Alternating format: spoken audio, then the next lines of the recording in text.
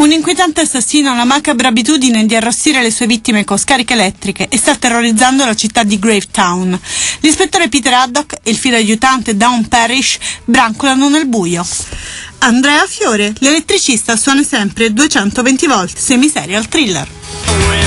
Andrea, buonasera, benvenuto. Ciao Flavia, come stai? Tutto Io- bene? Io benissimo, tu stai bene? Sono, sono contento di essere ancora tuo ospite nella, nella tua trasmissione, mi ha portato molta fortuna la scorsa volta.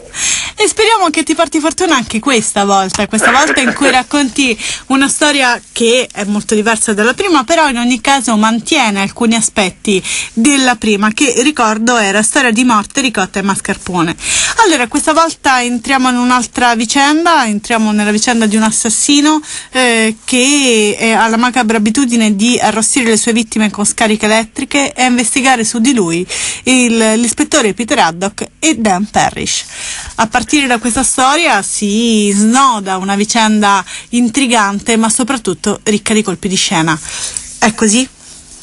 Sì, è proprio così, è una, una storia eh, che rappresenta una miscela esplosiva, ci sono i due eh, protagonisti della, della storia precedente, anche nell'elettricista sono sempre 220 volt, eh, l'ispettore Piterato che è il suo assistente Dan Parish. E mm, ah, diciamo che ereditano questo caso quando già eh, l'elettricista ha fatto fuori, ha fritto, mh, tra virgolette, ben 16 vittime, quindi è un caso molto complesso e loro annaspano inizialmente, annaspano tantissimo, anche se poi i colpi di scena e le situazioni grottesche sono tantissime, proprio tipiche del semiserial thriller, che poi quello che faccio io è un, un thriller semiserio che ha molto di, di demenziale, a parte la logica c'è anche molto eh, di, di- di- situazioni paradossali, di situazioni mh, eh, grottesche, di situazioni proprio spinte fino all'inverosimile.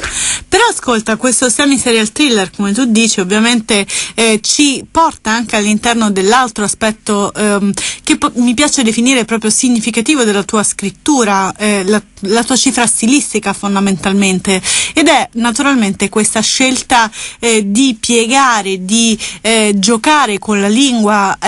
In modo tale di, di creare una sorta continua di dissonanza, di gioco stilistico, di, di- di richiamo, insomma, eh, un sorriso che è anche una, eh, un pasticcio letterario, insomma, un- giochi con questo italiano. Esatto, io ho proprio voluto fare una, una scommessa già col primo libro che ho, ho voluto bissare e ripetere anche con, con il secondo, quella di, di costringere appunto in italiana a piegarsi a- ad un genere eh, che, che è un ibrido tra il serio e il segreto, una, una lingua che quindi eh, viene articolata in maniera stramba, in maniera anomala, che viene appunto stressata, che viene eh, coinvolta in situazioni che non le appartengono, una lingua italiana che probabilmente non è più italiana alla fine, ecco.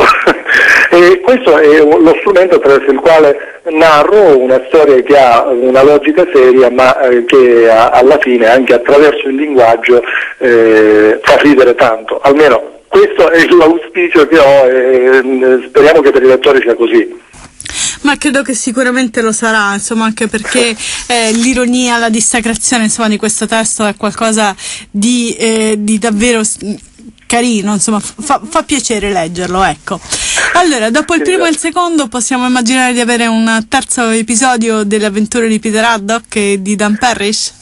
Ma guarda, io me lo auguro davvero tanto, io spero di poterlo, di poterlo scrivere, ma ehm, eh, come sai, come accade sempre in tutti quelli che, che- che scrivono, eh, poi bisogna aspettare che arrivi eh, l'ispirazione. E a me l'ispirazione arriva così casualmente, quando meno me l'aspetto, perché insomma, arriva l'idea e me l'appunto e magari la- una volta il titolo, una volta la storia seria, una volta la, la parte eh, rivanciana. E mh, ancora in questo momento lo sto aspettando. Diciamo che mi sto godendo il secondo, il secondo libro, ma mh, potrebbe arrivare da un momento all'altro l'idea per il terzo. E speriamo che arrivi presto. Io ti ringrazio davvero di essere stato qui con noi, Andrea, un abbraccio grandissimo e a presto. Sono io che ringrazio te e ringrazio anche gli amici della radio. Ciao!